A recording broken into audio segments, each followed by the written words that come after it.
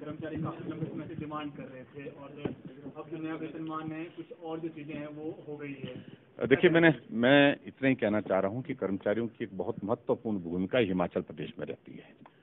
और निश्चित रूप से हिमाचल प्रदेश के विकास में गति देने के लिए प्रदेश सरकार की योजनाओं को जमीनी स्तर पर पहुँचाने के लिए कर्मचारियों का एक बहुत बड़ा कंट्रीब्यूशन है। और कर्मचारियों के सहयोग के लिए ये सरकार है। और निश्चित रूप से लंबे समय से मांग थी कि हमारा इस कर्मचारी महासंघ का गठन होना चाहिए जेसीसी की बैठक होनी चाहिए कर्मचारियों के जो मुद्दे हैं उनको सुनना चाहिए समाधान करना चाहिए। तो आज जेसीसी की बैठक हमारे ये पहली बार बैठक हो रही है और कोविड के दौरान भी कर्मचारियों ने बहुत बड़ा योगदान दिया है बहुत बड़ा उनका सहयोग रहा है। तो इसलिए उनका भी धन्यवाद उस, सहयोग के लिए भी धन्यवाद करता हूँ। आज मैंने जेसीसी की बैठक में आ, कुछ बातों का ज़िक्र किया है जिसकी डिटेल आपको सारी मिल जाएगी आ, लिखित रूप से क्योंकि वो सारी टेक्निकल चीज़ें भी उसमें हैं कुछ चीज़ों को लेकर के। और आ, मैं समझता हूँ कि कर्मचारियों को एक बहुत बड़ी राहत हमने सरकार में आने के पश्चात जो है जो उनके बड़े इश्यूज़ थे मुद्दे थे जिन मुद्दों को लेकर के वो हमेशा प्रयत्नशील रहते थे कि हमारी इन समस्याओं का समाधान करें, उन समाधान, उन समस्याओं के समाधान की दृष्टि से हमने अब शुरुआत की है और निश्चित रूप से इसमें कर्मचारियों को लाभ मिलेगा। और कुल मिलाकर के मैं समझता हूँ कि लगभग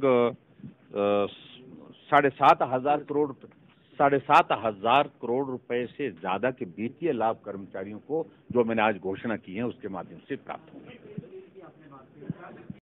डिटेल बात कही है वो मैंने बता दिया बता दिया है कि एक एक 2016 से नए वेतनमान दिए जाएँगे और जनवरी 2022 का संशोधन संशोधित फरवरी की सैलरी में मिलेगा।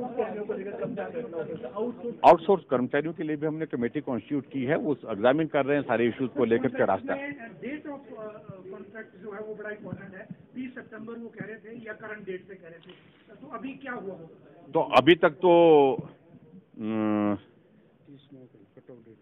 कट ऑफ़ डेट हमने इसमें तीस तीस नौ। तीस नौ। हाँ जी हाँ जी तीस तीस तीस सेप्टेम्बर जी जी। लेकिन वो उन्होंने बीएड को भी कोर्ट में देखूँगा भला लेकिन मेरा कहने का मतलब उसमें इतना ही है कि मैं किसी के खिलाफ नहीं बोल रहा हूँ किसी के पक्ष में नहीं बोल रहा हूँ लेकिन उसमें क्या रास्ता निकल मैं उसकी जजमेंट जो जो निर्णय हुआ है जो कोर्ट से आया है उसको थोड़ा स्टडी कर लेंगे और दोनों पक्षों को सुन लेंगे। हमारी मंशा है कि मदद हो और मदद का अच्छा रास्ता निकले। पुलिस कर्मी भी हाँ जी।